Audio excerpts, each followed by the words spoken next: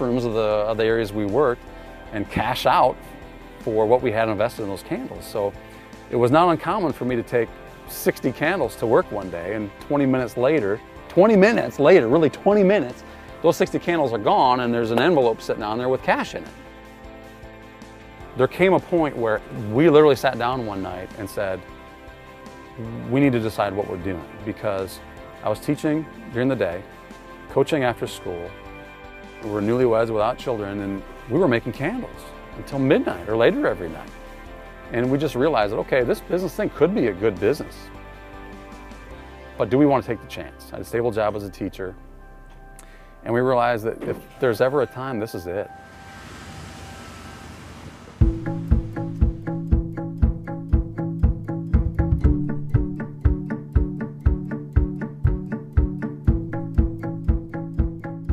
So I quit my job as teacher. All the teachers looked at me and thought, this is the craziest thing I've ever heard. You're leaving a secure job to make candles. That's the oddest thing. So, but we did it and we knew that, I guess, I guess we just have that entrepreneurial spirit. You know, you just, you take chances.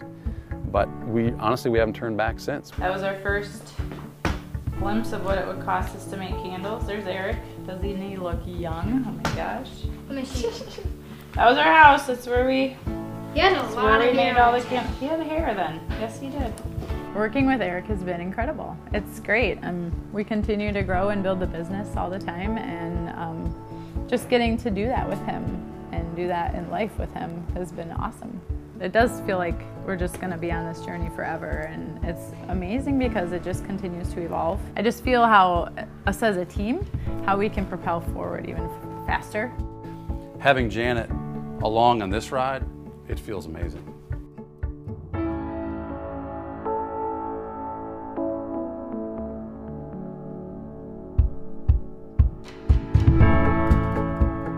know, we're still trying to make the best product we can, the best candle we can. And we found out about this product called soy wax. And what is soy wax? Well, it makes sense. It's 100% renewable. It's, it's a product of American agriculture. It's, it's a cleaner burning alternative to candles, but soy wax has none of the carcinogens of a paraffin wax. So the overall impact, it just keeps going on and on and on. And we were committed to soy and all natural, and we realized that that's just where we want to be. We live in Iowa. We are surrounded by corn and soybean fields as far as the eye can see. The richest soil in the world is under our feet. And we have access to the highest quality soybeans anywhere. So let's, let's pursue this.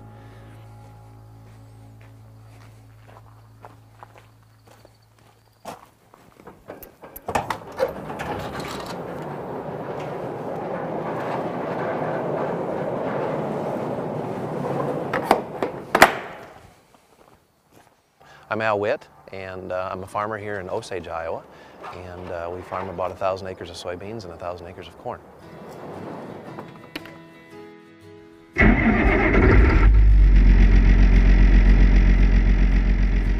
Typical Iowa farming is, is corn and soybeans, and uh, uh, many people you know, use the corn and soybeans for feed. That's probably the main purpose.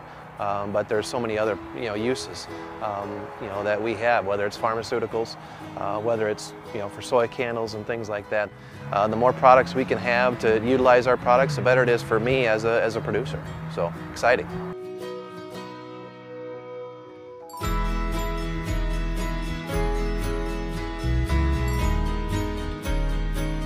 Eric and I go back, um, back to high school days. You never find another higher moral, high ethic person than, than Eric and his family. And it took, I took the agriculture road and, and he took a different road and it's really neat, you know, 25 years later that we're back into agriculture together. And what a great story. When consumers buy a soy candle, if they could just look at that story and see where that soy candle came from. You know, the soy wax was created from a soybean. That soybean was created by a farmer on his tractor, driving that field, harvesting those beans, which he earlier in the year planted into the soil and maintained, you know, through the summer and took, took care of. It's a, it's a great story. I mean, it's really, it, it is the American dream at work. It really is, where everyone is working together and the process is good for everyone. This is not about Eric Sparrow or Janet Sparrow or or Milkhouse Candles even, as much as it's about the livelihoods that we're contributing to.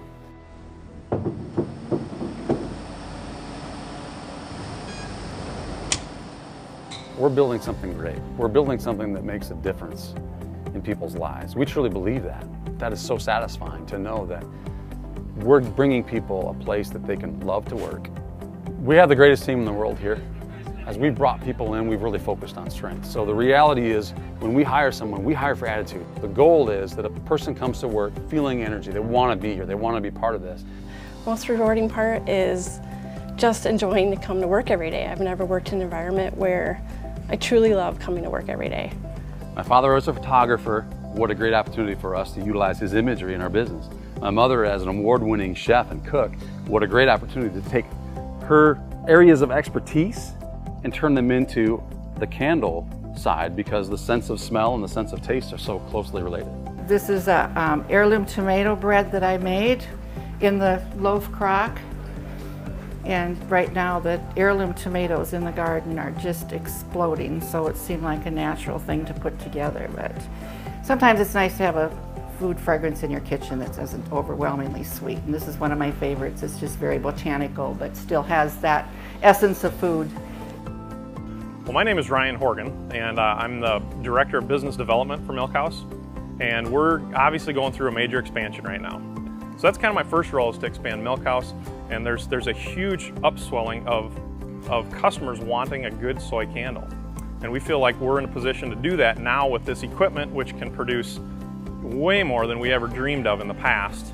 Um, and, and still do the, still keep up the quality that Milkhouse has always brought to the table. It's an awesome situation to be in, an opportunity where we can create jobs. That's the other side of this spectrum. Not only are we getting product that's healthier into people's homes, but we're also creating the jobs that used to be here. This plant used to employ over 100 people and was shut down by a big conglomerate. And, and so we get that great feeling of being able to bring those back to a small community. And that's the neatest part about this. We all get to raise our families in these small Midwest towns that we love and, uh, and be able to do something on a large scale like this.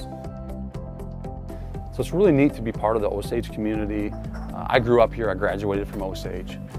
Um, but to integrate that with the Decorah, Iowa community, to integrate that with the New Hampton, Iowa community and see the differences in those communities and the things that each one of those communities uh, brings to the table as far as how they handle business in those towns and how, how the economic development systems work.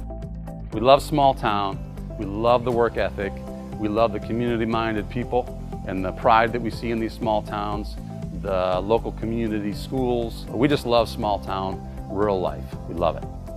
We have to make sure that the world we leave behind is going to be a safe world for our kids and for their kids and for generations to come. Taking soybeans from our own neighborhoods and helping distribute that product throughout the world, it's a, it's a great feeling. Having a family is really a big, big reason we ended up taking this leap and jumping into the small business because we knew that if we wanted to be the type of parents that we knew we wanted to be, we would love to have the flexibility of being able to control our own schedules. We're right now, we're building a treehouse at home with the kids. It's, it is awesome. It is, it is such a great journey. But it really is, it's, it's about the journey of building this with them hearing their input through that process and making modifications on the fly with our kids who have every bit of input from a creativity standpoint, it's just awesome because he's figuring it out. And honestly, I guess that's the whole, that's the gist of this whole project. It's just, to, you know, use the tools you have, figure this thing out. Yeah, the goal is to build a treehouse, but it's not about that destination. It's about the journey of getting to that. We put a lot of focus on this. It symbolizes a whole lot, you know, for business and life and just challenge yourself. You're gonna surprise yourself with what you can do, you know.